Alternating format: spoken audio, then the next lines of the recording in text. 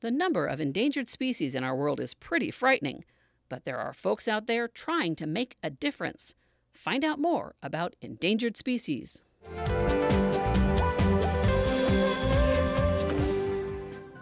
The news about endangered species is not good. One in four mammals, one in eight birds, one third of all amphibians, and 70% of the world's known plants are in danger of extinction. A species is in danger when the number of that species drops by more than 50% over 10 years, or if there aren't enough adults to really increase the population, or if there isn't enough habitat to keep the population alive. Scientists define the level of threat to the survival of a species in four ways. Vulnerable.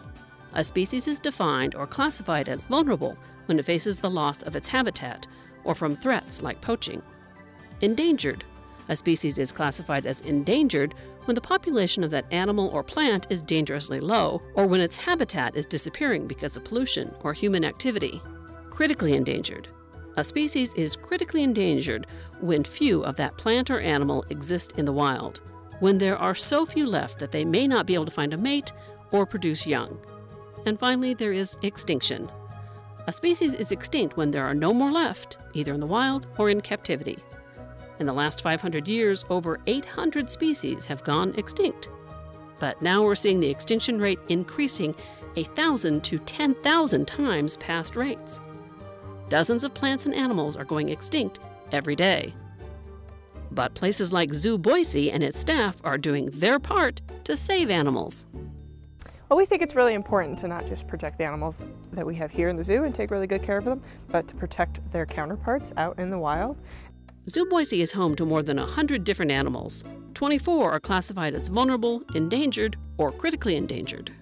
These are our Visayan warty pigs. Um, they are a native pig species to the Philippines and they are also critically endangered.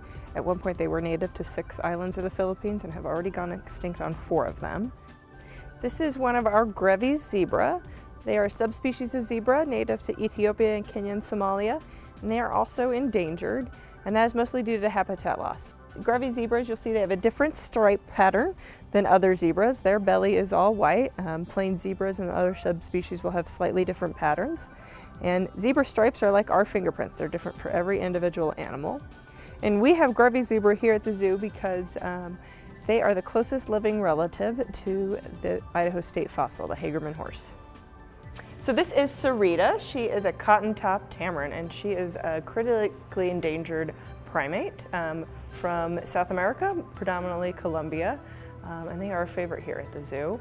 Um, and they're mostly threatened um, for habitat loss um, and people catching them for the pet trade and also for medical research. So these are black-handed spider monkeys. This is Elvis and Sarah, and they are from found in Central and South America, and they're really cool species because they have a prehensile tail, which means that they can use their tail kind of as another arm or leg, and they can use it to grab onto things when they swing through the trees and brachiate. Um, and these guys are uh, endangered as well, mostly due to deforestation and habitat loss. These are our red pandas, and the two you're looking at right now are our red panda cubs that were born here at the zoo this summer. Um, so we have mom and dad and these two boys, and they are a highly endangered species found in um, Asia or in China, Nepal, India, high altitudes. They're not related to pandas, um, but they eat bamboo. So that the panda means bamboo eater. Um, and they are mostly threatened due to habitat loss, um, the pet trade, uh, and other human encroachment. This is Tashi. He's our male snow leopard here at the zoo, and we also have a female Kibita. And snow leopards are a really cool cat. They're found in high altitude mountain ranges in Asia, and it's really hard for scientists to know how many there are left in the wild because they're really hard to find. So they are critically endangered. There's probably less than 5,000 of them left. And the two we have here are paired up as part of our species survival plan to hopefully um, mate here at the zoo and produce some cubs and help um, keep their species alive. You can help save these and other endangered animals by visiting Zoo Boise. Part of your entrance fee goes to a conservation program saving animals in the wild. If you want to learn more, head to the Science Trek website or check our related videos.